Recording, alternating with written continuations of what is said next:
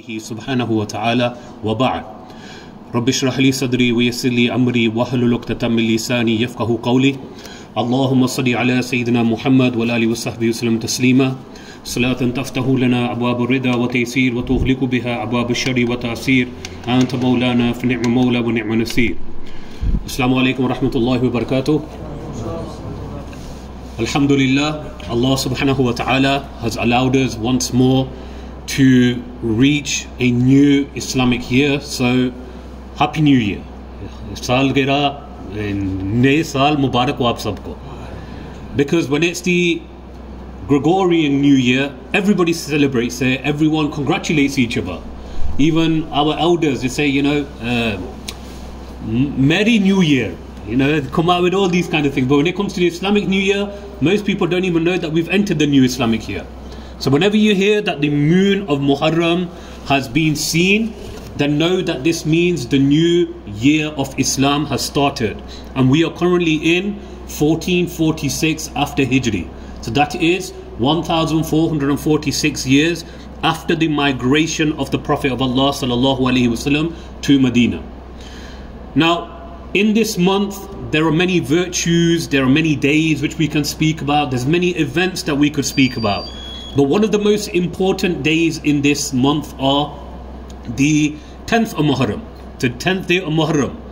یہ یوم عاشورہ کہلاتا ہے سب سے افضل دن یہی دن ہے اور اس کے بارے میں گفتگو کرنا بہت ہی ضروری ہے کیونکہ محرم میں ایسا ہوتا ہے کہ ہمارے سنی علماء بھی ایسا کرتے ہیں کہ محرم شروع ہو گیا ہے کہ ہم اب صرف کربلا کے واقعے کے بارے میں گفتگو کریں گے that they say we are only going to speak about the events that took place at the uh, oppression at Karbala.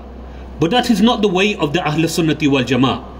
ये सुन्नियों का रवाज नहीं है ये रवाफिदा का रिवाज है और जैसा वो करते हैं वो कर ले this is the way of the Shia and if they want to do this then they can do this This got nothing to do with us. But we should not be those people who are following them. So, how do we differentiate ourselves? We do not become those people who make what we call matam in these days, especially the first 10 days of Muharram. हम मातम नहीं बनाते ये उनका रवाज है वो करते हैं उनको करने दो आप क्यों उनका उनकी नकल कर रहे हो Why are you following them? This is not for us to do. For us, we commemorate Karbala all year round. How? We commemorate Sayyidina Hussein at the Ahlul Bayt all year round. How? हम उनको कैसे याद करते हैं We implement this sunnah and what they died for, what they stood for, every single day of our lives. Every single day in the year, we make sure we act according to the actions of Sayyidina Imam Hussein radiallahu an or alayhi salam, whichever one you want to go with. So, when this is taking place, how do you act like him? He was somebody who stood up for justice. He was somebody who did not compromise for mere worldly gain.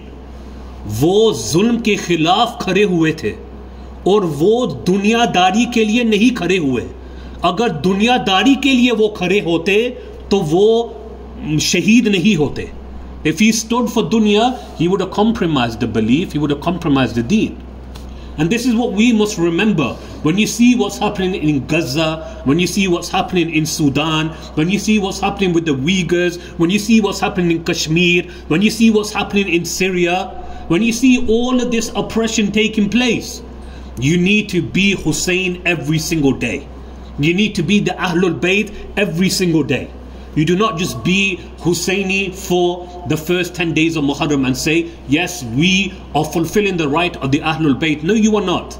If you are prattling about for all of the year, 350 days, because in the Islamic uh, in the Islamic year it's 360 days, not 365. 365 is solar, 360 is according to the moon, and that's what we follow.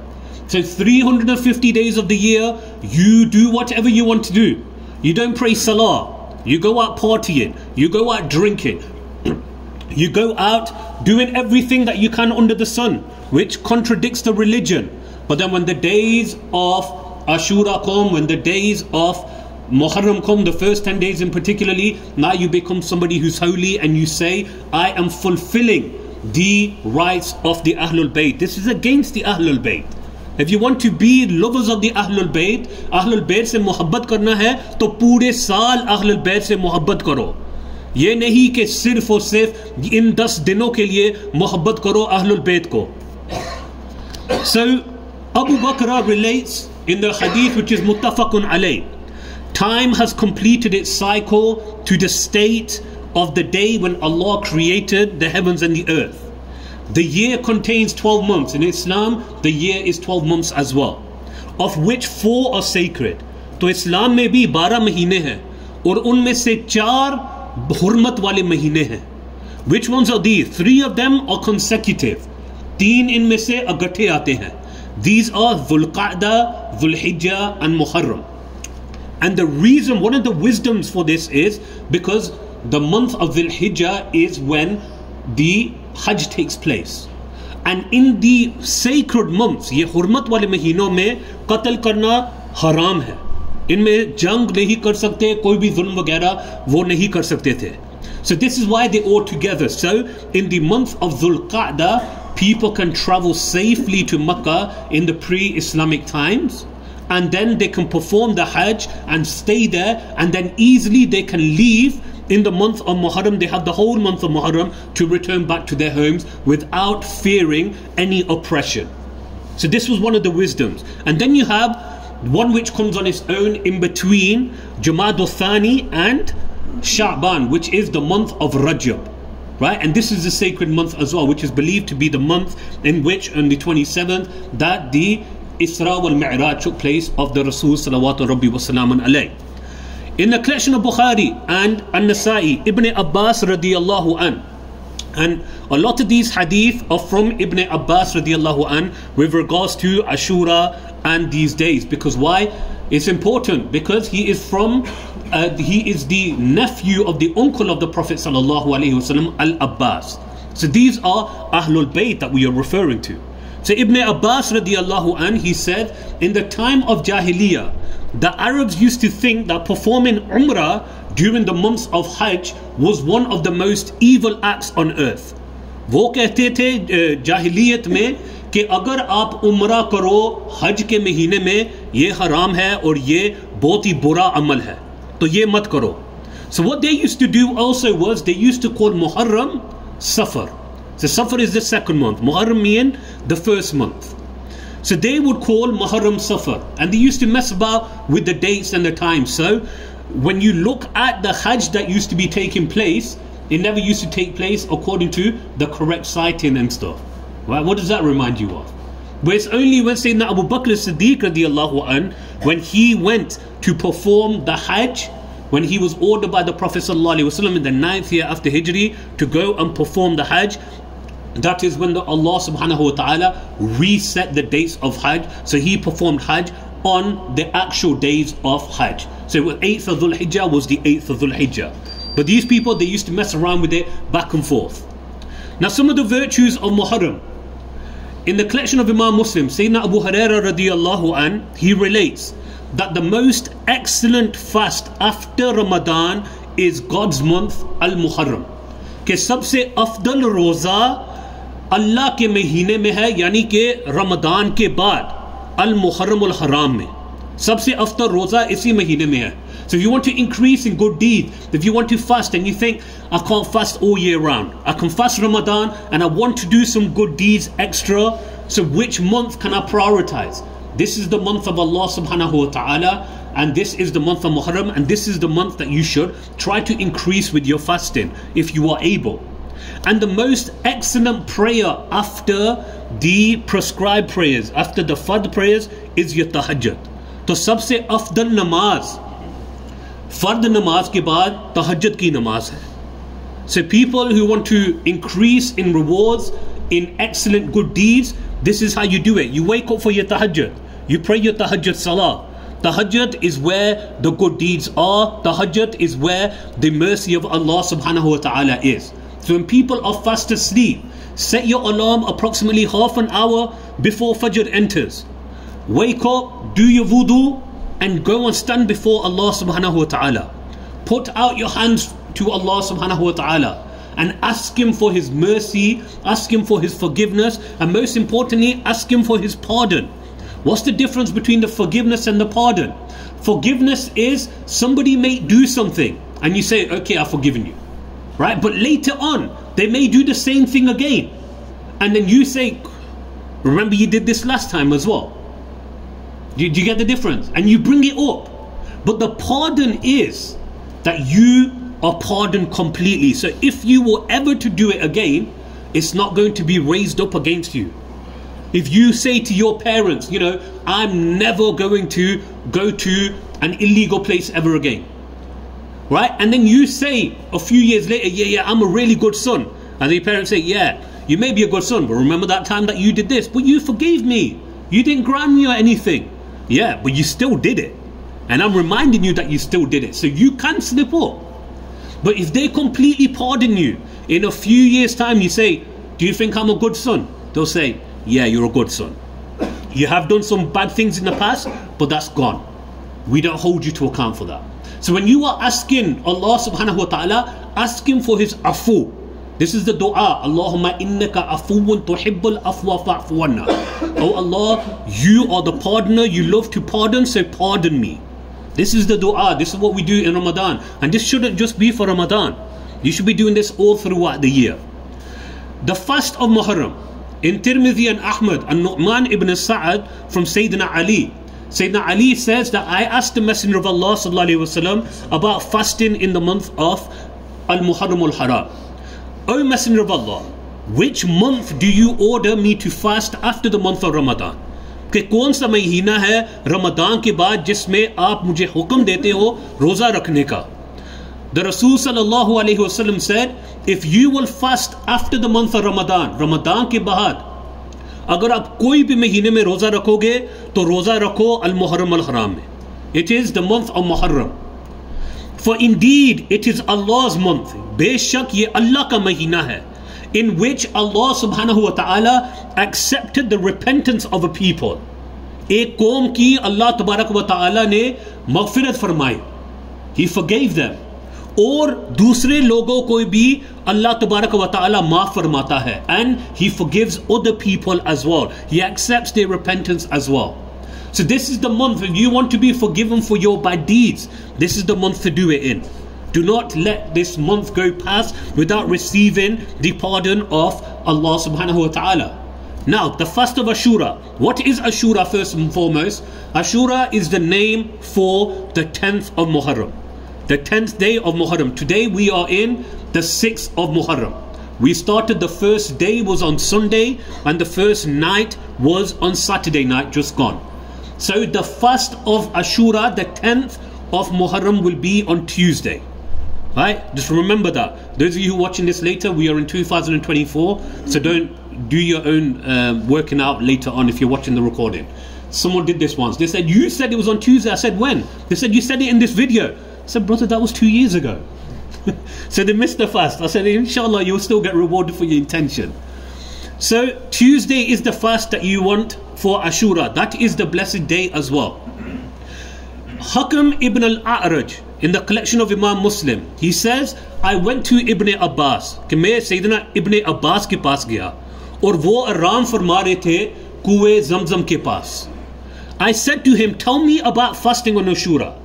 Ashura کے روزے کے بارے میں مجھے بتاؤ he said when you see the new moon of Muharram then count the days on تھیو the the ninth and then first the tenth I said to him is it how the messenger of Allah صلی اللہ علیہ وسلم observe the fast he said yes کہ یہ اللہ تبارک و تعالیٰ کے رسول صلی اللہ علیہ وسلم کا، کی سنت تھی اور انہوں نے فرمایا، بے شک یہ رسول اللہ صلی اللہ علیہ وسلم کی سنت تھی.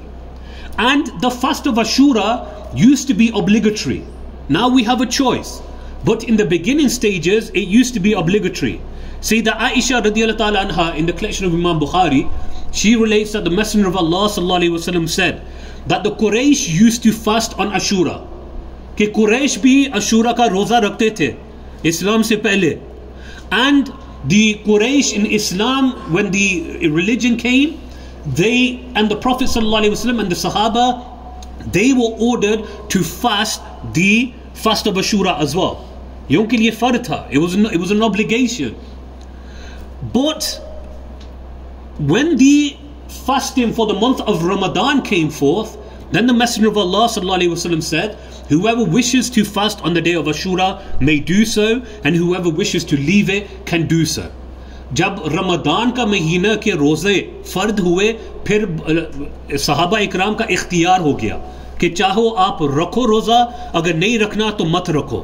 And it is on this day is who that they used to change the the cloth the Kiswa of the Kaaba used to be on the tenth of Muharram now they change day they change day from the days of الحجا and they done on the first of Muharram to coincide with the new year and I, I, watched one of the videos when they were doing it, and there was a comment which stuck out to me where somebody said that why have they changed it? And somebody said Sayyidina Umar set the Hijri calendar from when the Prophet ﷺ migrated from Makkah to Medina. And because of this, Muharram, that became the beginning of the new year. And this is why they've coincided it with the beginning of the new year. Now, this person that was replying back to this person, he was from a group called the Shia. And he turned around and said, Well, who is Umar? How, who is he to decide when the new year is to be set out? When is the beginning of the new year to be set out? And it just made me chuckle because had this person read the history, he would have come to the realization कि ये जो नया नया साल जो शुरू होता है इसका मशवरा किससे आया था सईदना अली से आया था so he's complaining, saying, you know, who is Umar and who is he to do this? Because obviously they have issues with Sayyidina Umar. And they believe that everything should be with Sayyidina Ali. This is when you get into extremes of loving the Ahlul Bayt. We love the Ahlul Bayt. The Ahlul Bayt are the crowns of our head. But we have limits. We love the Sahaba and we love the Ahlul Bayt. We don't go into a tug of war of who is better and who is superior and who is, you know, it's not a game of Tekken or Mortal Kombat who's going to win. That's not how the deen is. But had this person read a bit of history, they would have come to the realization that it was Sayyidina Ali's idea to start it from the point Sayyidina Rasulullah migrated from Makkah to Medina unfortunately people don't read. And for people who don't read, there are videos on YouTube. You know, Straight Talk Islam, go and just look at the various playlists. It's all in there. In the life of Sayyidina Abu Bakr, in the life of Sayyidina Umar, you know, the events of um, Karbala and uh, the Battle of Siffin, the Battle of the Camel.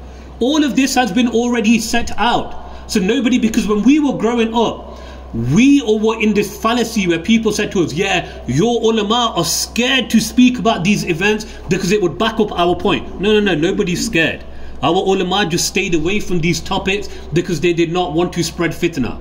But in the time where fitna has already spread, now the ulama have a duty to start clearing the misconceptions. If they don't clear the misconceptions, then people will leave what they are supposed to be following.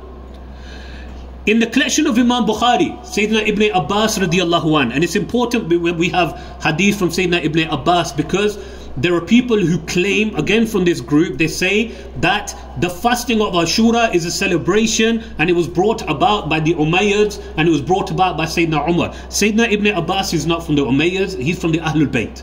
You know, he's the one who's relating these hadith. In the collection of Imam Bukhari, he mentions that when the Prophet ﷺ came to Medina, he found that the Jews were fasting on the day of Ashura, the 10th day of Muharram. They used to say this is a great day in which Allah saved Musa alayhi and drowned the people of Fir'aun. And they said that Musa alayhi observed the fast on that day to show gratitude to Allah subhanahu wa ta'ala. تو سیدنا موسیٰ علیہ السلام نے اس دن پہ روزہ رکھا کیونکہ اس دن سیدنا موسیٰ علیہ السلام اور بنی اسرائیل کو فرعون سے نجات ملی تو وہ شکر ادا کرنے کے لیے سیدنا موسیٰ علیہ السلام دس محرم کو روزہ رکھتے تھے But the Prophet صلی اللہ علیہ وسلم was fasting way before this, even before the migration, even before the order for fasting came. The Prophet ﷺ was fasting. So when the Orientalists say, oh, the Prophet ﷺ copied the Ahlul Kitab, he copied the Jews and the Christians, again, this is a falsehood. Because we know from the Sahih Hadith that the Prophet ﷺ and the Quraysh were already fasting this day. It was a regular action of the Prophet ﷺ. Upon this, the Prophet ﷺ said, I am closer to Musa than they are. کہ میرا زیادہ حق ہے مسلمانوں کا زیادہ حق ہے سیدنا so he observed the fast and he ordered the Muslims to fast on that day. And this was a day that was honored by the Jews and the Christians not just the Jews. Sayyidina Abu Huraira in the collection of Imam Ahmad mentions that this is also the day that the ark of Sayyidina Nuh alayhi salam docked on Mount Judai Sayyidina know alayhi salam and Musa alayhi salam fasted out of gratitude to Allah subhanahu wa ta'ala. تو سیدنا نو علیہ السلام کی سفینہ وہ آ کے پہاڑ جودائے پہ آ کے رکی سیلاب کے بعد۔ اور انہوں نے بھی سیدنا نو علیہ السلام نے بھی روزہ رکھا شکر ادا کرنے کے لیے اللہ تبارک و تعالیٰ کا۔ ان the collection of Imam Muslim we see the in the Jews treat this day as a day of Eid वो जश्न बनाते थे इस दिन को ईद मनाते थे and they would give ornaments and dresses to their women to wear and dress up for the day. Then the Prophet ﷺ orders to do something important. And this is important for our time in every single thing that we do in our life. Again from Sayyidina Ibn Abbas, collection of Abu Dawood and Imam Muslim. When the Prophet ﷺ commanded the companions to fast the 10th of Ashura, 10th of Muharram, the day of Ashura, they said, Ya Rasulullah, this is a day which is considered great by the Jews and the Christians. ये तो उनका दिन है वो इस दिन का जश्न बनाते हैं अगर हम इस दिन पे रोजा रखेंगे तो क्या थोड़ा थोड़ी प्रॉब्लम नहीं पैदा हो जाएगी is not going to cause some confusion that people may not say that we are copying them because fast forward 1445 odd years you come to the realization that the orientalists are trying to say that uh, this is the insight from the messenger of allah وسلم, and his companions the messenger of allah وسلم, said in that case when the next year comes we shall fast on the 9th of muharram and the 10th of muharram but it so happened to be that the messenger of allah وسلم, left his physical abode in the very next year so, how do you fast? If you can, you should fast the 9th and the 10th. So, it's Monday and Tuesday in 2024, 1446. Or you fast Tuesday and Wednesday, which is the 10th and the 11th. It is makruh tanzih, the lesser dislike, if you only fast the Tuesday, which is the 10th of Muharram. But if you cannot do two, and I mean, if you really can't do two, because you should always aim for the higher. Don't always look for the low standards. If you look for low standards, you're going to stay low. Always aim higher. So if you can fast the two days, then please fast the two days. The rewards are immense. If you cannot, then at least fast the Tuesday. कम अज कम एक रोज़ा तो रखो क्योंकि ये मकरू तंजीम में आता है कि अगर कोई एक रोज़ा रखेगा दस मुहर्रम का ये हराम नहीं है मकरू तहरीम में नहीं आता लेकिन ये मकरू तंजी है कि अफदल यही है कि आप दोनों दिन का रोजा रखो Don't imitate the Ahlul Kitab, and that's what you get from this this message as well, from the Messenger of Allah sallallahu alaihi wasallam. And in another hadith, the Messenger of Allah sallallahu alaihi wasallam said that you will follow those that came before you, inch by inch, step by step, so that if they enter into the hole of a lizard, you would also follow them into that hole. And the Sahaba said, Ya Rasulullah, do you mean the Ahlul Kitab by this? And the Messenger of Allah وسلم, said, Who else? So don't follow the people, the non-Muslims. You are not here to follow the non-Muslims. The non-Muslims are to follow you. And you are supposed to be following the Messenger of Allah وسلم. That's how it's supposed to be. Don't feel inferior in yourself and say, you know, we need to start following this guy, we need to follow, start following that guy. No, you only follow one person, and that is the Rasul sallallahu alaihi wasallam. Because if you follow the Rasul sallallahu alaihi wasallam, you are only going to end up at one place, and that place is at the doors of the mercy of Allah subhanahu wa taala. You will, you will not end up anywhere else. But if you follow other people, certainly you will end up at other places which are not proper for the Muslims. Now, why is it so important to fast on the day of the 10th of Muharram? Abu Qatada relates in the collection of Imam Muslim, the Prophet ﷺ was asked about fasting the day of Arafah. The day of Arafah, the 9th of Dhul Hijjah. 9th of Dhul Hijjah, Nabi Akram ﷺ ने फरमाया अगर कोई शख्स योम अरफात का रोज़ा रखेगा تو دو سال کی مغفرت کا اجر اس کو ملے گا۔ پچھلے سال اور اگلے سال۔ لیکن اگر وہ یوم اشورا کا روزہ رکھے گا تو پچھلے پورے سال کے گناہ اس کے معاف ہوں گے۔ تو یہ first day of the ninth ولیجا دلیجا you get forgiveness of two years of sins the previous year and the common year these are minor sins by the way For, gra- for grave sins, you have to either perform a sincere Hajj or a sincere repentance. And then he was asked about the 10th of Muharram, about this fast, the day of Ashura. And the Messenger of Allah said, The one who fasts the 10th of Muharram, he will be forgiven all of the sins from his previous year. Again, minor sins.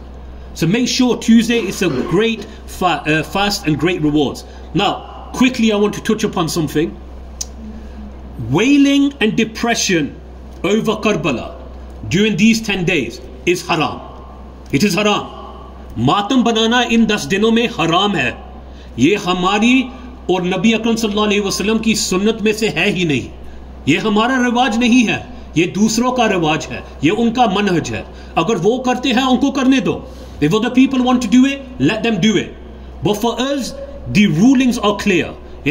Imam Bukhari, the woman, the person is to mourn for three days and three nights, except for the woman who is mourning for her husband, then she is allowed to mourn for four months. That is her iddah. Or if he, her husband passes away, um, then, sorry, if her husband passes away, then it's four months and ten days that she is allowed to mourn for. But for everybody else, it's three days and three nights. You can be sad. You can remember certain things, but to do matam, it is impermissible. Sayyidah Khadija radiallahu ta'ala anha, she passed away in the month of Ramadan. Because people say you're not allowed to get married in the month of Muharram. وہ کہتے ہیں کہ محرم میں اگر آپ شادی کرو یا شادی کے انویٹیشن بھیجو یہ حرام ہے یہ آپ نے کفر کر دیا نعوذ باللہ کہاں سے یہ حکم لا رہے ہو where you get in this from Sayyidah Khadija radiallahu ta'ala anha, the most beloved to the Prophet wasallam, his first wife, she passed away in the month of Ramadan. But the Prophet wasallam in Ramadan, the third year after Hijri, he married Sayyidah Zainab bint Khuzaimah. Sayyidina Hamza, the beloved uncle of the Prophet wasallam, the defender of the religion, he was martyred at Uhud in Shawwal, third after Hijri. He was martyred, वो शहीद हुए third after Hijri, Shawwal के महीने में. But the Prophet sallallahu alaihi wasallam, उन्होंने नका किया Sayyida Umm Salama के साथ. He married Sayyida Umm Salama in Shawwal the very next year. So if it was haram to get married when your loved ones are passing away, the Messenger of Allah وسلم, would not have got married in these days. Are you saying you are more, you love the Ahlul Bayt more than the Prophet wasallam? Are you saying you have more understanding of the religion than the Prophet wasallam? In the collection of Imam Muslim, the Prophet wasallam said, wailing, zor zor se cheekna chilana, ye kufr ki nishani hai. This is the sign of the disbelievers. It doesn't make you a kafir, but it is a sign of the disbelievers. In the collection of Imam Bukhari, the Prophet ﷺ said, He who slaps his cheeks, tears his clothes, and wails, laments loudly, the wailing of ignorance is not from us. This is not from us. In the collection of Imam Muslim, the Prophet ﷺ said, if a woman, and this extends to the men as well, because nowadays the men they do the wailing now. If a woman does not repent from wailing, lamenting, chikna chilana, then on the day of resurrection, she will be wearing a garment of hot tar. And she will be wearing a garment of which is covered in infectious scabs. This is a great warning, a grave warning against this. So we need to be very, very careful. Other things that you can mention in the month of Muharram, because if you don't want to get married in the month of Muharram, you consider it haram, don't get married in any of the months. پھر پورے سال میں نکاح مت کرو۔ پورے سال میں یہ حرام ہو جاتا ہے۔ Why in the month of Muharram Sayyidina Imam Husain ابن علی اینڈ اہل البیت وہ شہید سو دے see don't do nikah in this month but what about your the months in Safar Sayyidina Hasan ibn Ali was martyred what about that Sayyidina Hasan ibn علی سیدنا حسین کے بھائی وہ شہید ہوئے۔ تو سفر کے بارے میں کیوں نہیں کہتے؟ why are you not saying it about that? In the Rabi al the Prophet of Allah wasallam was shaheed from the slow acting poison. He passed away from the physical abode. उस उस महीने में क्यों शादी करते हो In the month of Rabi al-Thani, Sayyidina Sheikh Abdul Qadir Jilani passed away, who is Hassani and Husseini Sayyid. Why are you doing shadi in this month?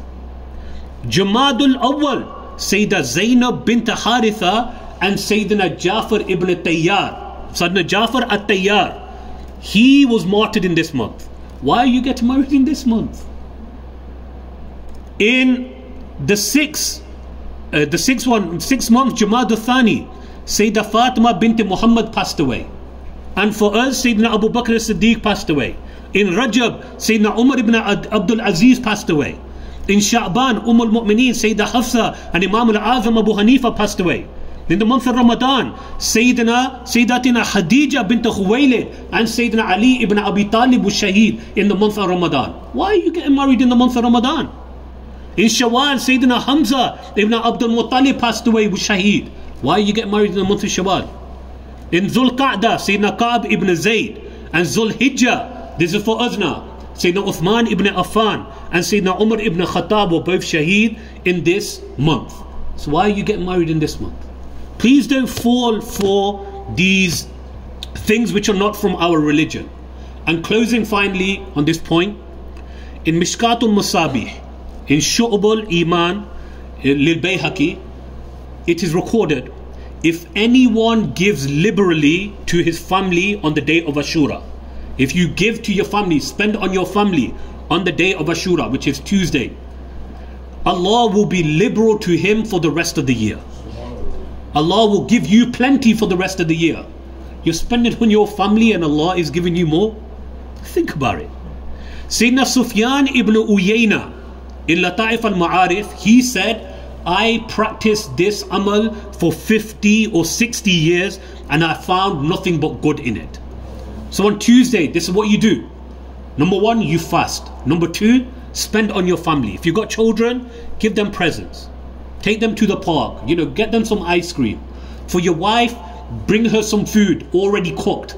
Don't go to the shop. I mention this every year because it has to be mentioned. Sufyan's going to go to the butcher's. He's going to get some meat. He's going to bring it home. Look what I bought for you. No, that's not. That's not doing something good for them. Do something good. Spend on them give charity, do good deeds on this day. It is a blessed day and we ask Allah subhanahu wa ta'ala to allow us to make the most of this month and this day. وَمَا عَلَيْنَا اللَّهُ بَلَاغٌ مُبِينٌ وَصَلَى اللَّهُ عَلَى سَيِّدِنَا مُحَمَّدٍ وَعلى آله وصحبه وسلم تسليما كثيرا